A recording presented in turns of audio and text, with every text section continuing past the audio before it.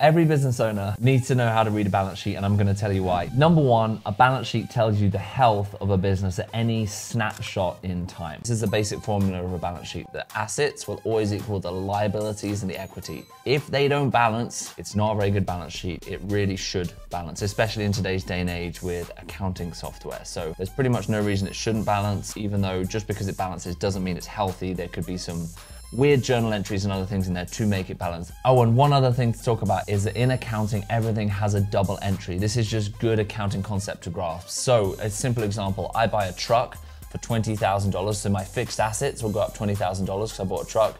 And my cash, let's just assume I use cash, the cash goes down $20,000. So there's two entries for the purchase of the truck. And so think about it in those terms. There's always two entries for everything. So with that said, when the balance sheet is correctly maintained, it tells us, is the business liquid? Is the business solvent? Is the business stable? All of these answers can be found in the balance sheet. I spent a few years at the beginning of my career auditing financial statements. When you start auditing financial statements, the first thing you do on a balance sheet is you check the opening balances match the closing balances. Now, if you're watching this video because you want to buy a small business, don't worry too much about it. Assume that's correct for now, and you can always check that in diligence. But that's the kind of the starting point to make sure that the balances are correct at the beginning, and then you look at what's happened. Now, once we've verified the starting point, we can actually verify the key line items in the balance sheet.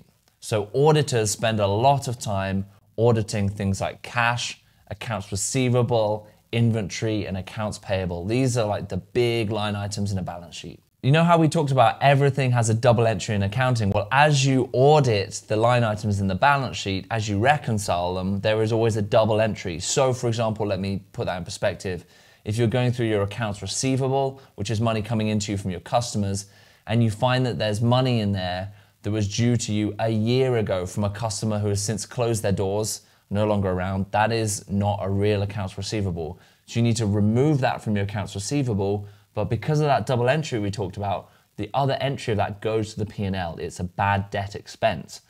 Now, the point is you're making the balance sheet correct, and as a result, you're having this knock on impact on some of the double entries into the profit and loss. So you're making the other financial statements more accurate as you're checking the balance sheet. So for you accounting nerds out there, that entry that we just talked about is a credit to AR and a debit to the P&L for the bad debt expense that we talked about. Are you overwhelmed in your journey into small business ownership? If so, look no further than my inner circle. The inner circle is the best way to accelerate your journey into small business ownership. We are a community of small business buyers offering the best in education, community, and accountability to change your life. Book a discovery call with me today and let's talk. Link is just below.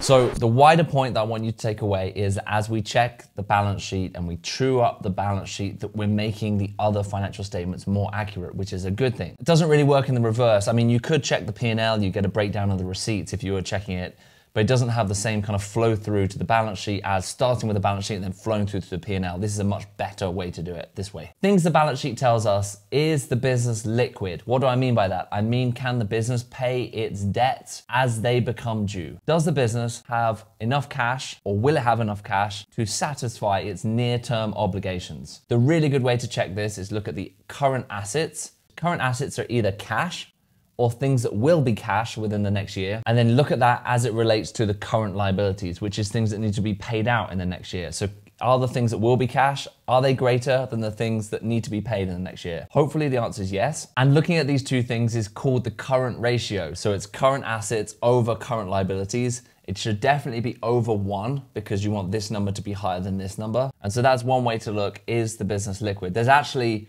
Part B of that is something called the quick ratio, which is where you subtract inventory from the current assets. The reason is not all inventory is super quick to be sold. And so a really like quick like acid test to see if the business is liquid, you take the current assets less the inventory, and then you do it over the current liabilities as well. That is called the quick ratio. So either the current ratio or the quick ratio are really good ways to see if the business is liquid, if they're gonna run into any cash issues in the near term. What else does the balance sheet tell us? The balance sheet also tells us how solvent the business is over the long term. So solvency I think of as a more of a longer term issue. If you had some assets, some fixed assets, say some trucks that are worth $20,000, it's not that much in terms of trucks, but let's say you had long-term debt of $100,000 well, your assets are kind of underwater against the debt. So I would say that business isn't really solvent. It's not really going to be around for the long run unless they do some big restructuring of the long term debt on the balance sheet. And these are non current assets and non current liabilities. So these aren't the quick ones that turn to cash or go out from cash within a year. These are the longer term assets and liabilities. That's my next check. That's the next thing I'm looking for on the balance sheet. The other thing I get asked a lot about is equity. And because I work in the world of small business acquisition, people want to know how much businesses are worth. So you'd be forgiven for thinking you could go straight to the equity section of the balance sheet and say, okay, it is $200,000, therefore the business is worth $200,000. Well, in the world of small business acquisition, companies are valued nine times out of 10 on a multiple of cash flow. So that's not true. So, in a way, the equity section on a balance sheet can be misleading. However, if you're looking at multiple balance sheets, say the end of last year and the end of the year before and the end of the year before that, what you really want to check is that equity is going up each time. Because what happens, the net income that's on the profit and loss, that's the profit after everything's paid, will flow to the equity section on the balance sheet at the end of each year. So you really want to see that going up each year. And so by doing a quick check on the equity section, you want to make sure that equity isn't diminishing over time. That would be a bad sign. But the equity is a very useful data point on the balance sheet. Another reason why accountants love balance sheets is it gives you an indication of what the rest of the accounting's like. So if that balance sheet is super messy, then you know that the rest of the financial statements are probably really messy too. So it gives you a glimpse, a window into the rest of the accounting and bookkeeping processes. So why do accountants love balance sheets? They love them because as they check the balance sheet, they get a glimpse into the accounting, they can make the other financial statements more accurate. It gives you a glimpse into the near-term liquidity, whether it can pay near-term obligations based on the cash at hand. It also gives you an idea of the longer-term solvency of the business. Is the business going to be around for a long time? And it also gives you some idea on the equity. So yes, that doesn't equal the value of the company, but it does tell you on like a breakup basis, if you sold everything, you know, if you sold the assets and then you paid off all the liabilities, what would be left. That doesn't equal the value of the company, but it is a useful data point. Thank you for watching. If you'd like to join an amazing community to help you with your small business acquisition, you know what to do. Book a discovery call with me below. Thank you for watching. This is James, the Business Buying Brit, signing out.